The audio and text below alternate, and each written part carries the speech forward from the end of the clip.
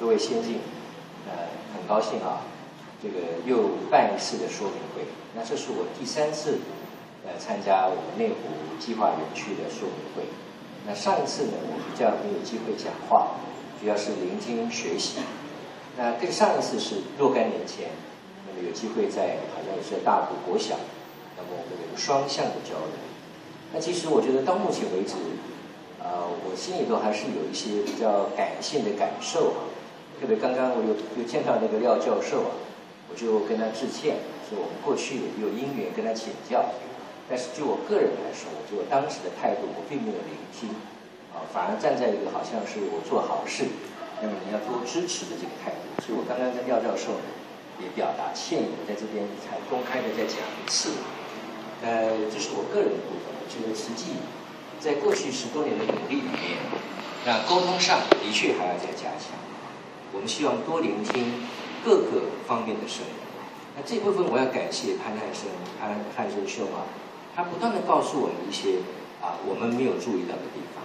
我认为他仍然持续他的立场，他没赞成、没支持。但是我们很需要这样的一个理性的对话。那今天包括德正兄，他的发言也是非常的持平。那这是我们先要表达感恩。我觉得作为一个慈济人，如果态度不对，我就一切就不。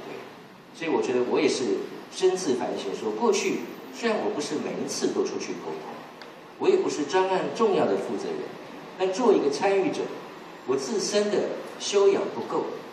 虽然我在实际学习，但是我过去主播的习性出来了，那个批判犀利的角色跟态度出来，就会伤到人。啊这是我在这里先做一个很真诚的啊，比较感性的一个说明。我要很感恩在座所有对提提自己呃提出批评建议的人，作为慈济的发言人，我很代表慈济感恩各位这么诚恳的建言。我刚刚也跟教授说，我们很多意见不会一样，好朋友想法也常常不同，但重要是作为环境的推动者，慈济也是一个环境的推动者。我们很努力用心在环境这一块，据说智慧专业，我们很多地方的确不足。这部分潘仁兄，我们在几次虽然很少，我主动跟他情谊的过程中，他的确告诉我一些我以前没有思考过的一个角度跟面向。那还有包括几位在座的，包括呃叶先生在大埔内阁，那还有孙建筑师，都给我很多很多宝贵的意见。到目前为止。我们很多意见交流，我们不断的改进我们内部的看法跟想法。实际不会去把一个好的地方把它变坏，实际绝对不会做这件事。苏挖高速公路那个山不应该挖，我们不要反对任何一条道路，但是不，我们不太赞成开路过程中去破坏这个山。所以很多记者问我说：“你是不是反对苏挖高？”我们只能说我们不喜欢山被挖。至于说路要怎么盖，那是专业去评估，因为盖个路可能还包括交通的考量、财政的考量、文化的冲击、对当地运输的冲击，所以我们不可能制定政策。所以这个环境的考虑，上人从他创立慈济以来就一直如此在重视。所以因为这一块土地，因为因缘的关系，购买的它就是四点多公顷，他没有因为说我不要环评，所以我买少一点。它的平地就是这个平地，啊，那么买下来，当时的确是一个保护区，而且是一个环境十分恶劣的保护区，我们连内部都不能够去做太大的变革。像这个目前这个占的面积有建筑是四十二 percent，或者是三十五 percent，比现在的建筑看到的面积还要小，啊，所以这一点我想特别来说明说，慈济不会去把一个。好的地方把它弄坏，我们是把一个已经破坏的地方把它变好。当然，我想这方面有更多的专业的在环境保护的先进们会指出，你们要有保护区的概念。这方面我们希望聆听更多。什么叫做真正保护区的概念？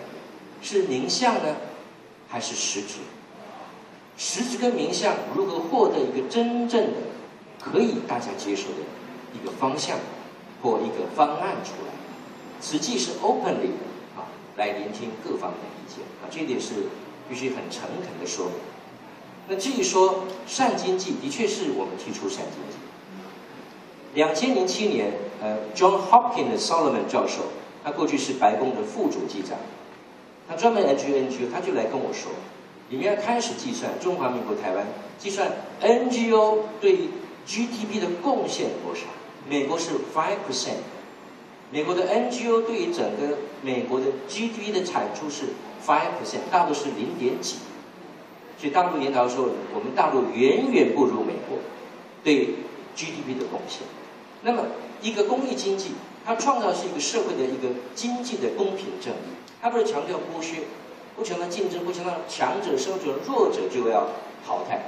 今天我们劳工所探讨的不就是这个问题？第二个，公益经济，它不只是要追求公平正义，它更是要促进增进弱势经济的它的经济权。所以慈济不管捐十亿、二十亿，从善款来一定是直接回到善款。一会儿也许，呃，吕方川师兄他是我们慈化处主任，负负责慈善的，他本身是一个企业家，他进来也不知心，薪水都捐掉，因为他财财力比我好，我只是说，呃，以没有以前主播薪水那么好而已啊。那他这个是这样我们，呃，付给一个法务处主任，过去是律师，我们给他的薪水。不够他以前缴税。NGO 的是价值的力行者，也是价值的受益者。我们都是受益者。我们在实际学会人生的态度，学会各种应该有的品格，这是实际给我们的。学会去付出奉献，所以我们是要教导富有的人去帮助贫困，帮助贫困以后，他本身也可以去帮助。像最近缅甸。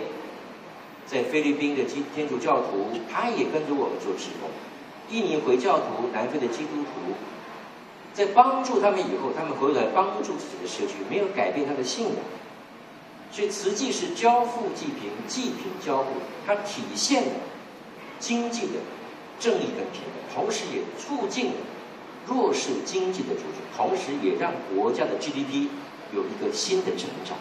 总是我们募款投入，就是有一个。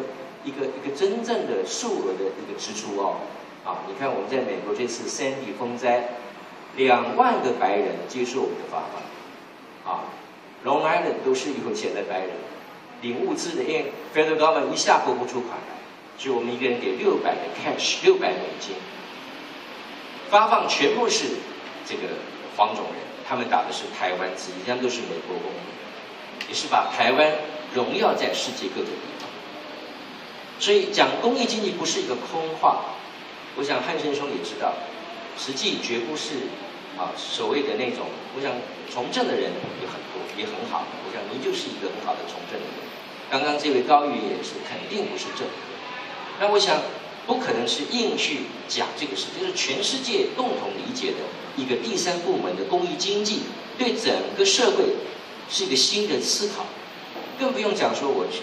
呃，这个也很荣幸啊。去年哈佛大学管理学院请我去演讲，就讲两点：value base，就是以价值作为领导管理；第二个呢，用爱做创造。因为 Harvard School 教的是说，你怎么去 competitive innovation，竞争导致创意。